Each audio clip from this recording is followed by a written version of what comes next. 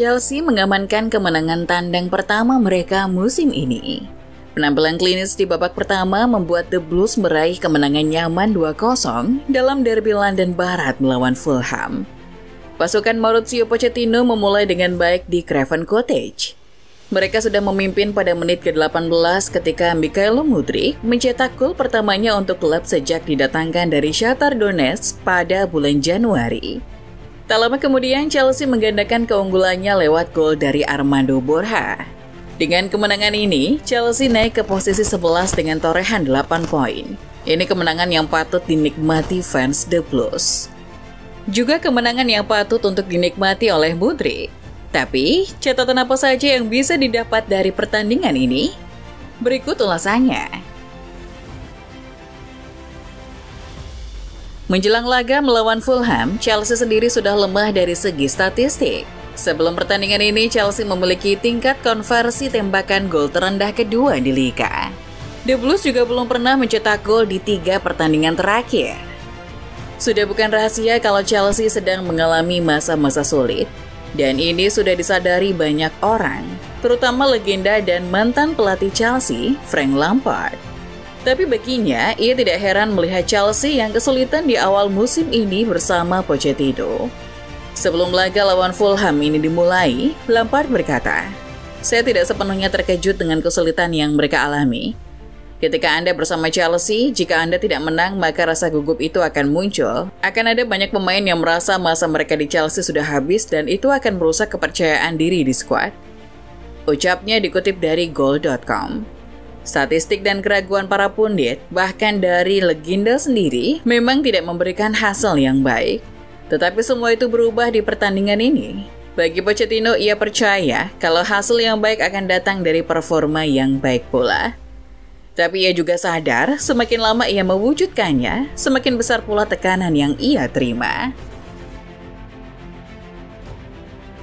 Soal perkataan Lampard yang bilang ada banyak pemain yang merasa masa mereka di Chelsea sudah habis, mungkin itu termasuk Mudrik.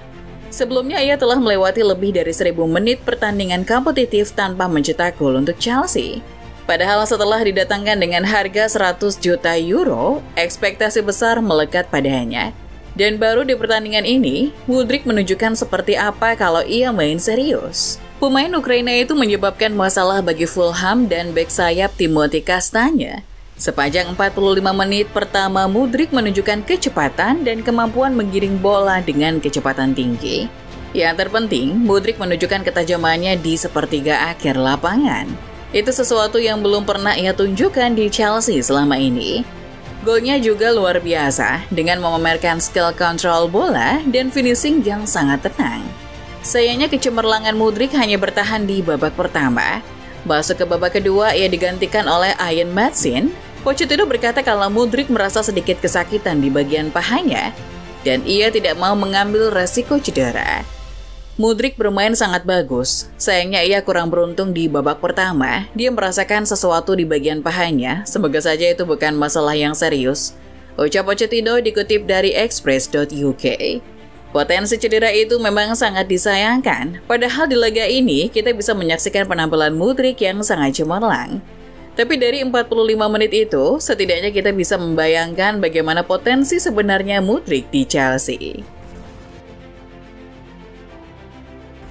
Selain Mudrik, pemain yang patut jadi sorotan adalah Armando Broha. Penampilannya itu bisa menyelamatkan Chelsea dari pengeluaran tak perlu untuk membeli striker mahal. Absennya Nicholas Jackson jadi kesempatan Broha tampil sebagai starter sejak bulan November kemarin. Untuk pemain yang sebelumnya hanya pernah bermain selama 14 menit di musim ini, Broha menunjukkan penampilan yang bagus. Meskipun diwarnai dengan kegagalan mencetak gol ke gawang yang tak dijaga. Tapi tak butuh waktu lama bagi Broha untuk mencetak gol. Kurang dari dua menit setelah gol pertama dari Mudri, ia mencetak gol tambahan. Namun Broha tidak bermain selama 90 menit. Di menit ke-65, ia ditarik keluar digantikan oleh Raheem Sterling. Namun Broha masih pantas untuk dapat predikat Man of the Match malam itu. Pemain Albania berusia 22 tahun itu terus-menerus menciptakan kepanikan di lini belakang Fulham. Ia juga menunjukkan lari yang langsung dan efektif. Memang ada unsur keberuntungan dalam golnya itu, tapi gol itu tidak bisa tercipta kalau Broha tak punya inisiatif menyerang dan insting mencetak gol yang tajam. Chelsea sangat membutuhkan pemain dengan inisiatif menyerang. Terbukti saat Broha keluar dan Sterling masuk, Chelsea kehilangan ketajamannya. Dan mungkin Broha bisa membantu The Blues meningkatkan statistik konversi gol mereka.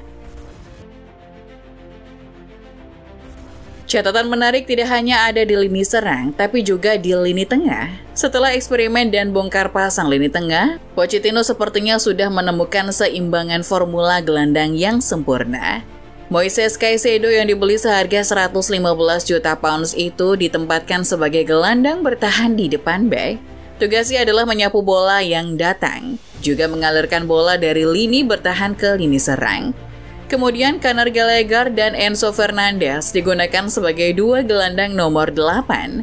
Mereka cocok menempati posisi tersebut karena punya kemampuan menyerang yang mumpuni, di mana Gallagher di sisi kanan lini tengah, sedangkan Enzo berada di sisi kiri. Caicedo, Gallagher, dan Enzo tampak saling melengkapi dengan sempurna, baik saat menguasai bola maupun saat keluar dari penguasaan bola. Trio lini tengah ini bisa bekerja sama dengan baik Ketika kehilangan bola, lini tengah Chelsea bisa mendapatkan kembali dengan cukup cepat. Secara keseluruhan, trio gelandang ini bisa bermain dengan tenang, terutama Enzo yang jadi jantung permainan lini tengah Chelsea.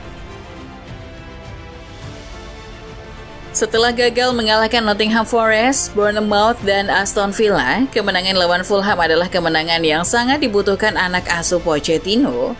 Sebelum laga ini, Chelsea hanya punya 5 poin dari 6 pertandingan, sedangkan pertandingan lawan tim papan bawah Luton jadi satu-satunya kemenangan mereka. Fulham memang bukan tim kuat, performa Fulham akhir-akhir ini juga tidak bagus. Meskipun begitu, kemenangan The Blues adalah kemenangan yang pantas didapat. Chelsea bermain dengan profesional dan bisa mencatatkan clean sheet. Pochettino menganggap kalau kemenangan ini bukan kemenangan biasa, tapi bisa meningkatkan kepercayaan diri mereka. Penting bagi kita untuk membangun kepercayaan diri. Saya sangat senang untuk para pemain. Kami mendapatkan apa yang pantas kami dapatkan dan saya senang untuk kedua pecinta cool malam ini.